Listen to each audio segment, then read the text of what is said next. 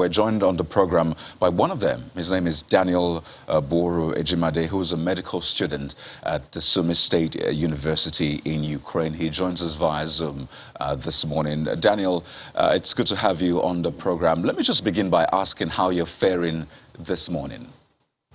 Mm, personally, this morning it's um, it's just a roller coaster of emotions because um, like you know, for the past few days, there has been no electricity There've been no water. So the electricity and the water, they just came back on like yesterday or so. In my hostel, they came back like two days ago. But right now, even as the electricity is back, my hostel, we don't have water. Some hostels, they didn't have water and electricity. So they just got water and electricity back. So like someone said, like you've you even lost track of how many times you've baited. Sometimes you even forget about eating, like you forget about food basically. Supplies are running low in the supermarkets even to even withdraw cash, it's very hard because the ATMs are not even dispensing. So at this point, it's you know the, there was no panic at first because we all thought, okay, yeah, we still had the light, electricity, food supplies, so we're still like you know everybody was still feeling okay. But the moment the lights went out, including me, I began to panic a little bit because that's when we realized that like this is getting real. So some people even tried heading out, but they were sent back. Some headed out successfully. So right now it's just like a roller coaster of emotions. Like I don't know, it's you know, it's conflicting emotions. You are angry because you're like, what's happening? Why are you keeping me here? At the same time, you're scared of heading out because you don't know what you will meet the, on the road, and you're also scared of your supplies running out. So it's just a roller coaster of emotions, honestly. Well, uh, well if you don't mind me asking, I mean, I, I, I, I can only imagine. I can't, you know, pretend to even yeah. understand what you're, you're, talking about. But this situation, power outage and all, is this something that ever happens or this is the first time ever? This is the first time since I came to Ukraine back in 2018 that we had power outage. Okay. So, like, since I've been in Ukraine, there has never been power outage in my hostel. I can't remember when. So it was, should I say, it was new to us. So power outage, what water issues too, the same thing. So everything just went out all at once, and it was like the whole city. Well, so it uh, was Was there any any preparation? I mean, I, I, as I, it's an emergency situation, so no one really wanted it to happen. But was there any kind of preparation by the school? Any forethought or, or foresight as to this might happen? These are the contingencies that, as an institution, we should prepare for our students. Well, um, I would say the only contingency or the only plan the school had was when um let me say when like the attacks are getting close per se, like when the attacks are getting serious, each hostel has a bunker. So we head to the bunkers. So right now, once like they sound the alarm for an artillery airstrike, for example, like they just sound the alarm randomly and they'll tell us we head to the bunkers. So I think that's like the only say contingency, um, contingency plan the school had, just the bunkers. So and you know the thing is, students were telling, were actually telling the school that we are not, we're foreigners here, so we don't know how long this war will persist. And we don't want a situation whereby we'll be stranded here and the war has, you know, gone overboard. So, but the school kept on telling us, like, don't worry, it won't go overboard, everything is fine, this and that, that and this. Well, now, if you look at the situation, every single city, neighboring city around us, they've all been evacuated. Sumy City, Sumy State University students were stranded here. Like it's it's terrifying because you're talking to your friend who is in another city and he's telling you that he's already in another country at the moment. They're all praying for you. Like at the moment, the only thing that can help us here is just prayers and maybe funds because even the funds, the funds were even asking like like students are even like, you know, asking their parents for a funds to leave this place. So I would say the only contingency plan the school had, personally that I know of, was the bunkers, which they told us that whenever we hear the alarms or the sirens, we head to the bunkers. That's the only contingency. And also, they provided some foodstuff, like they were able to give us foodstuff. But the question is, how long will this war persist?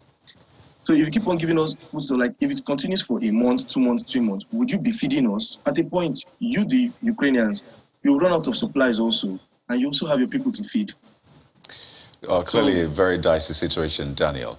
Uh, yeah. So videos surfaced and we showed some of them, you students yeah. protesting. So who was this targeted at? Was it the school authorities, the government in Sumy? Why is it difficult for you to leave? Who is holding you back, as it were? Okay, um, personally, I think the video was just targeted to like, I think I was personally, me, because I was actually in the video, I was like present in one of the, in the videos the day I was at the back. So th that video was actually directed to both the government, both the school, like anybody like it could reach out to. It was just a video that we're making, like let it reach out to people because at this point we don't know where the help can help, where the help will come from. So we're just reaching out to every single person, be it the Ukrainian government, be it the school authorities, be it the Nigerian government, be it even the EU or the UN, we don't know. So like it was targeted to like vast bodies. Let's just like let's just get out of here. And also, um, the thing is, people have tried leaving the city and I kid you not, I have a group mate of mine, a friend of mine, very close friend of mine. She left the city yesterday and she went out successfully. Some students left, they went out successfully. Some students left, but they told them to come back. So the school now is saying, like, we should not head out, it's dangerous and all. Yeah, we know it's risky, but at the same time, students are leaving and they're not facing difficulties. Why? Because they are foreigners. Uh, Daniel, quickly, pardon me, who told them to come back? Now, most of them that came back, there were two different stories. Some said they met like the Russian Russian troops who told them to come back. Another, some others said they said it was the Ukrainian soldiers that told them to head back. So me personally, I haven't like made the trip out, but some of my friends, from my friends that I heard, some said it was Russian troops that told them to head back. Some say it was the Ukrainian army, like Ukrainian troops that told them to head back. So at this point, it's should I say it's the two parties, like it's the two countries. Daniel, just before I flip this to my colleague in, in Abuja, last I heard from, from one of the students there, you were meant to be evacuated by 9 a.m. today. I hear there's been some sort of yes. green light. Uh, are you aware of that? Does that look like that will still happen? How many hours away are you from 9 a.m. right now? Um, personally, I'm 16 minutes away, sorry, um, 18 minutes, sorry, 18 minutes away from 9 a.m right now in Ukraine. And at the moment, it's not happening. So we were told we were told that like there was a safe green corridor by 9 a.m. to 11 a.m. That's what we are told. So everybody was told to pack up and prepare. I myself, I was ready. Then early hours of this morning, we are told that they didn't reach an agreement with the Russian troops or like the Russian military. They didn't like um, they didn't agree to honor the ceasefire. So the evacuation has been cancelled. At the moment, it's cancelled. So right now, it's just everybody trying to find their way out of it. The evacuation has been cancelled. From what I've seen so far, from the information received this morning, the evacuation has been cancelled. It's not happening. And we don't know when next such like opportunity will come up again. So yeah, it has been cancelled. Um, Well, we're going to ask you, we're going to encourage you to keep hope alive. And I know that that's difficult to do when you continue to see that it would seem that uh, help is not coming as quickly as you had thought it was going to come. Uh, but you must also realize that it's a war and that you know things are and can easily change at any point in time. So some students got out safely, uh, they dared it and they got out safely. Some other students might not be so lucky because of the changing circumstances of the situation. So as much as possible, please stay where the authorities, the school authorities say you should stay. Uh, at least now there, there is an awareness uh, the Nigerian authorities are aware that students are stranded in Sumy and they're still trying to make that arrangement to see how they can arrange a safe corridor. Uh, but in the meantime, you know, how, what is the source of information? Are they keeping constantly in touch with you? Oh, yeah, the school actually created an international group. So for every single person in the school. So it's a Telegram group. So all there. So they keep us updated both on like the evacuation plans and also maybe like if there's going to be an airstrike or something. So on the Telegram group, I've been updated like daily on their plans and their movements and everything that would occur in the coming, like everything that they're planning on in the coming days. So yeah, we've been updated by the school. Of, as of recent, we've been updated by the school. Yeah. What about the what about the authorities? That's Nigerian government authorities. Are, are they able to reach you directly? Okay, Not yeah, just you. um, I mean, you and of yeah, course a host of other students who are stranded in Sumy. Um, yeah, I think they are because um, there are some groups I'm on. So I think some people in those groups, they're in other groups that maybe they have like one or two um, Nigerian authorities in those groups. So, so they, they bring informations to us too. So I think, yeah, they are reaching out to us like via other students who are in other groups too. Other like maybe WhatsApp group, Telegram groups or something. Yeah. They are keeping us updated with Nigerian Have you people been able to form? Have you been able to form a group in such a way, I mean, a connected group in such a way that if, for instance, there is news that there is an evacuation, they finally be able to secure that safe corridor? All of you can leave almost at the same time without anyone being left behind. Yes, yes. The school already made a general, like every single foreign student in Sumy State University, I think we're all in that particular group. Then, aside from us being in that particular group, there are other groups that, so let's say, for example, now I get the information from that Sumy State University group. I can now share it in the other groups I'm in. So, just in case students who are not in that Sumy State University group, they see this message on time. So I'm personally I'm on like four five Telegram groups, and those four five Telegram groups at the same time the information like any information drops, someone in those groups sends them to the same to like to other groups to immediately. So I can see like the same message from maybe the first group I'm in, in the other four groups at the same time.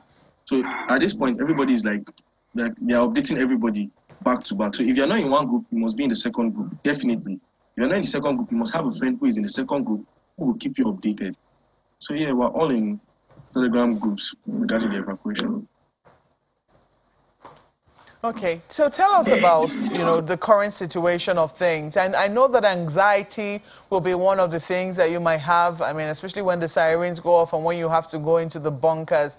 But generally, uh, uh, uh, would you say that your fellow Nigerians there are they calm, or they are so anxious? Are you able to sleep, for instance? Mm, Personally, um, okay, personally speaking for myself, I'm actually like the calm type. So like, even if I'm under the situation, like my dad, I even spoke to my dad, so he like calmed me down and all. But if I'm speaking for, that's me speaking for myself. But if I'm speaking for the Nigerian students here, they are not calm. Like, I can feel the tension. They are all anxious, and I won't blame them because um personally, I have an instance. Was it not um I think two days ago, two days ago or three days ago, there were five bomb shellings before 10 a.m. in my city here. And one of them, I personally heard it. So that kind of thing, it has raised, it has like increased the anxiety in the students here. So it's even hard to even calm them down. And I won't blame them because with each day passing, like we hear the news of the ceasefire and all, but still we're still waking up to bomb shellings. So it's getting scary for them and also personally speaking for the Nigerian students here, everyone is like everybody is anxious. We just want to just leave. Like everybody just wants to just get out of here as quick as possible. Because it's getting scary every day. Because you don't know, okay, today now you're waking up with bomb shellings. Tomorrow, what if, God forbid, it's your building that get that gets hit? So it's getting scary. So day by day, we don't even know what to expect. So there's anxiety, there's fear, there's even should I even say anger because like you know you know that moment when you've tried everything and it just seems like nothing is working so you're just angry like what's happening like as per what's happening so yeah so I'll say anxiety fear and anxiety fear everything is just I'll say that's like the mood at the moment now And it's totally understandable, Daniel. Totally understandable. We will just urge, you know, to know to let you know that you are in our prayers. You and your fellow Nigerian students are in our prayers, and we'll continue to do all that we can to get your message out there until you are safely out. Uh, but in the meantime, what are comforts? What are creature comforts like? Are you able to? What's the food supply like? I know that you had expressed earlier fears that you know even the authorities could soon run out. But in the meantime, if you were to look at what you currently have and may- maybe perhaps access to be able to get more, how much longer would you say that the food supply you have uh, can can last you for? uh, personally the food supply I have I would say if I'm going to like try and minimize or minimize what I have it should take me for maybe two weeks max or three weeks because even to head out to the stores, like due to the power outage, like I said earlier, due to the power outage, some stores didn't open up. and some stores are completely shut. So like the stores are being shut, and you don't even know where to get your next food from. So from but why uh, why I'm able to have some food supply that can last me for like maybe the next two or three weeks is because like I when it started I went and I did like I did a mass you know buying of groceries. So that's why I was being able to you know secure something, and the things I have even for them to last me for those two three weeks, I have to really mice like reduce the way I eat, you know watch the way I eat. I have to like proportion it so sometimes, uh, like there was a day I went throughout that day without even eating food. All I was just eating was just biscuit and drinking water. Like at the point you won't even feel like the hunger may not even be there again. So that's another reason why the food may even last because the hunger you may never feel the hunger again. So personally, for me, I would say like my own food stuff maybe two weeks or three weeks max. Even the three weeks is still under probability, under probability. And I feel, and I know, I not even I feel, I know there are people out here who may even have less. So. Well, I believe that a sense of community will certainly prevail in that respect. But how is it? I know it's still winter in uh, Ukraine right now. So how are you coping with the temperatures? I, I can see that there's electricity where you are. Is the heating yeah. still okay? Yeah, the heating system is working. Yeah, the heating system is working. But, you know, some of us in the hostels, we have to buy our own personal heaters. So even with the heating system, we still have to buy our own personal heaters because in Ukraine here, like the cold is really it's really severe. Like sometimes it can get to minus 25 degrees Celsius. So, and it's winter time and there's snow everywhere. Like literally it's white everywhere because snow is everywhere and all. So it's even like, it's very cold. So the, yeah, the heating system is working quite well. Yeah. But also we also need like personal heaters in our room just to just make us very warm because we're not used to such cold. Minus 25 degrees Celsius, it's very cold. So yeah, That's, I'll yeah, the. But Daniel, we're going to ask you to